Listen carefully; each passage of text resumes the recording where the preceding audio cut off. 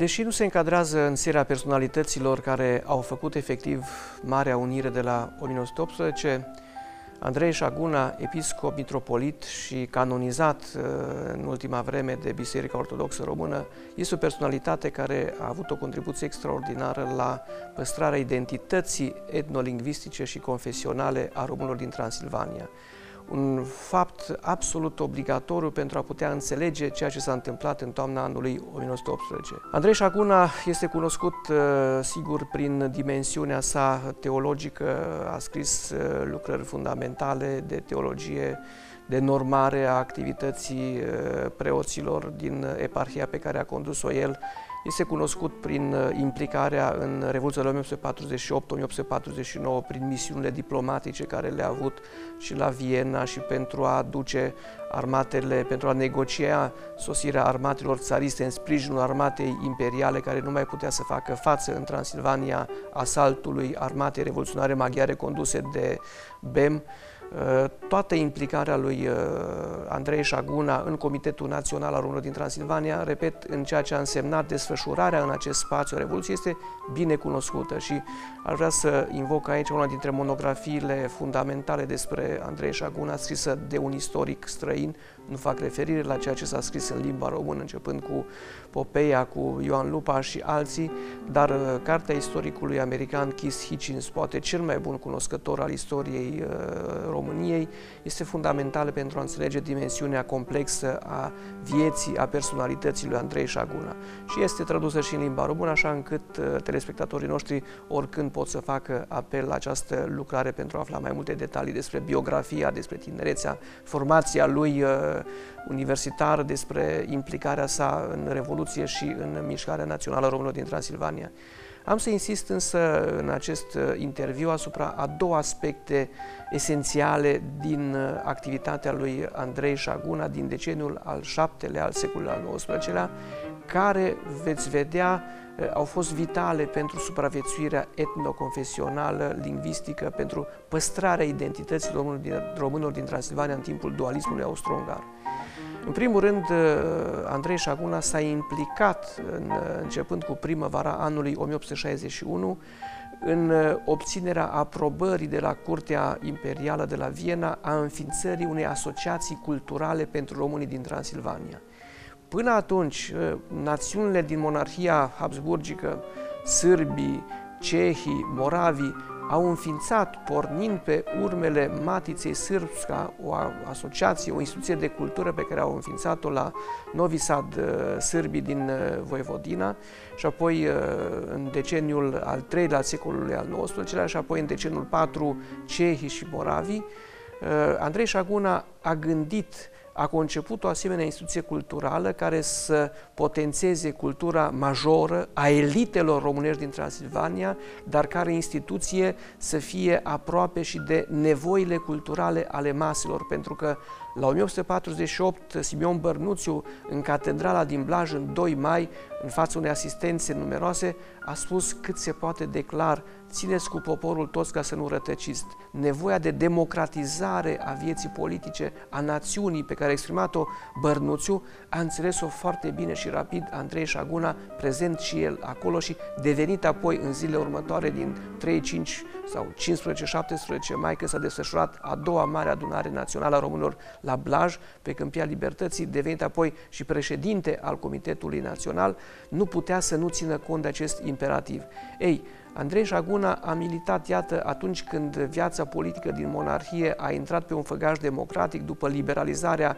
în urma diplomei din octombrie 1860 pentru a obține o asemenea instituție pentru românii din Transilvania. Sigur că uh, alături de uh, Andrei Șaguna au fost implicați și alți intelectuali români ai vremii din Transilvania, intelectuali laici sau aparținând uh, bisericii ortodoxe și greo-catolice, Printre ei l-aș menționa pe Timotei Cipariu, un mare cărturar de la Blaj și s-a reușit, după mai multe luni de negocieri, de corespondență, de realizare a unui statut, a unor proiecte care să fie avizate de autorități. În toamna anului 1861 s-a deschis la Sibiu Asociația Transilvană pentru Literatura Română și Cultura Poporului Român. Pe scurt, Astra, cum este cunoscută ea.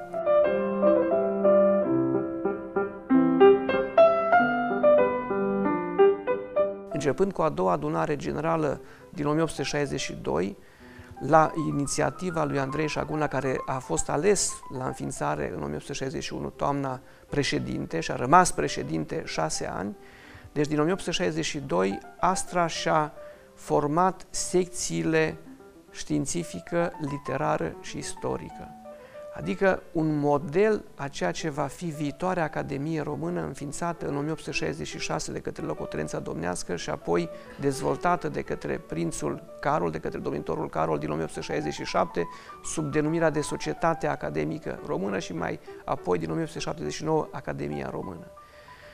Astra, prin aceste secții care și le-a creat din 1862, a reușit să devină un magnet pentru elitele românilor din Transilvania, în primul rând, să reprezinte cadrul în care au putut să-și exprime și să se încurajeze creația științifică și culturală majoră la nivelul a ceea ce se întâmpla, cel puțin în monarhie, la națiunile slave cu care noi eram în același uh,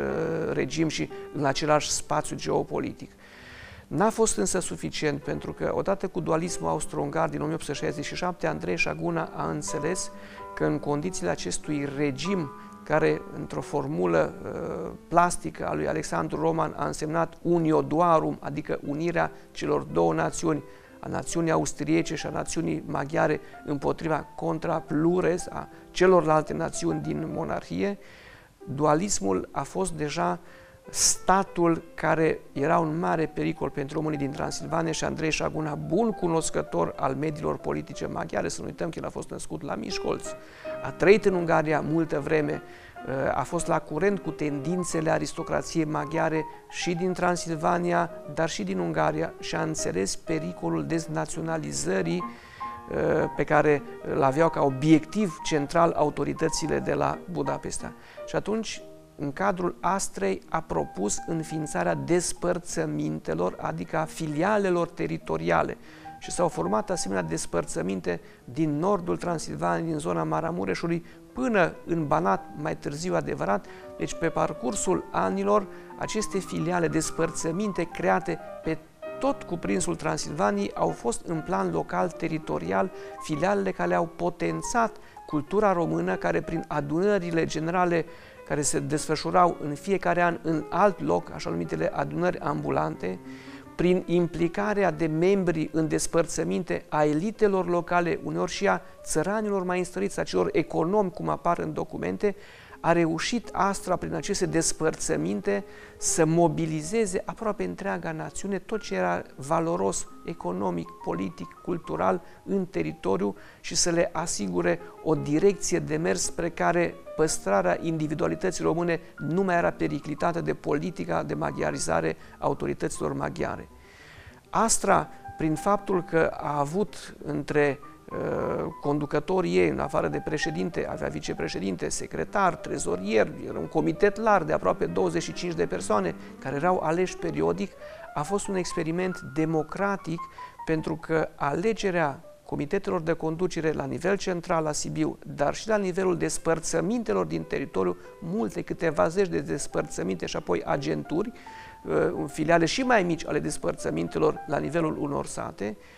a existat acest exercițiu democratic ca oamenii să-și aleagă pe cei mai vrednici din fruntea lor în, în, în cadrul acestor comitete. În condițiile în care pentru alegerile politice, pentru Parlamentul de la Budapesta și pentru consiliile județene, cum spunem astăzi, așa numitelor congregații comitatense, consiliile comitatelor care practic erau forurile legislative, administrative locale. Românii nu participau un număr de mai mare de vreo 20 de mii, datorită votului cenzitar, adică nevoie de a avea un venit destul de ridicat în Transilvania, că așa au gândit autoritățile maghiare să defavorizeze elementul românesc care economic stătea un pic, uh, era la nivel inferior uh, sașilor și uh, maghiarilor. Deci românii din Transilvania nu participau la aceste alegeri politice în număr mai mare de circa 20 de mii. Ei, închipuiți-vă ce a fost până la primul război mondial, alegerile anuale ale comitetelor la nivel central, la nivel local, ale astrei, ale despărțămintelor, prin implicarea a zeci și zeci de mii de români care au dobândit astfel o experiență politică, civică, democratică.